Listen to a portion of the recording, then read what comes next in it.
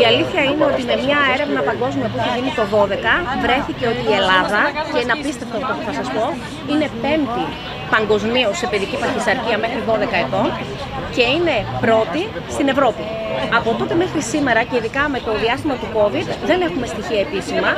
Έχει υπάρξει όμως αποτύπωμα ότι λόγω του εγκλισμού και λόγω της πίεσης ψυχολογικής που ασκήθηκε στα νοικοκυριά έχουμε όντως αποτύπωση σε υπέρβαρους, ενδεχομένως και παχύσατους, αλλά αυτό θα φανεί στα επόμενα δύο χρόνια που θα αρχίσουν να γίνονται ξανά μελέτες. Έχει αυξηθεί, έχει αποτυπωθεί αυτό, αλλά δεν είναι με επίσημα στοιχεία ερευνών. Δηλαδή εγώ σαν ενεργός διαιτολόγος μπορώ να σας πω ότι όντως έχει αυξηθεί η κίνησή μου και ταυτόχρονα με αυτό έχω καταγράψει υπέρβαρους και παχυσάρκους σε σχέση με το πώς ήταν πριν πάντα.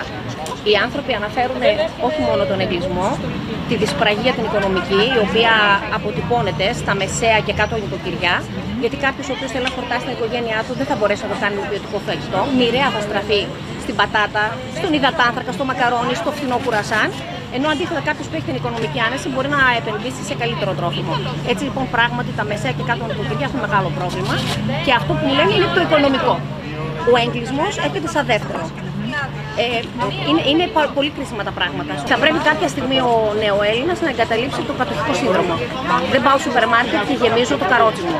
Δεν υπάρχει λόγος αν δεν μπορώ να πάρω την ακριβή γαλοπούλα να πάω να πάρω μισό κιλό φτηνή. Μπορώ να πάρω τέσσερις φέτες μεγάλες και να τις κόψω.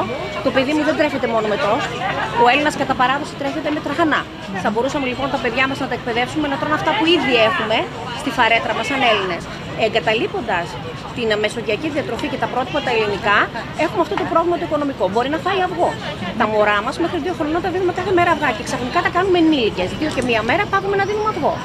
Κάνουμε ας πούμε ένα τόστ οι μαμάδες, νομίζοντας ότι προσφέρουμε το καλύτερο πράγμα και ουσιαστικά κάνουμε διατροφική βόμβα. Ένα ψωμί που είναι με συντηρητικά, ένα φτηνό αλατικό που έχει νητροζαμίνη και μια κακής ποιότητας ένταμ, γκούντα ή οτιδήποτε.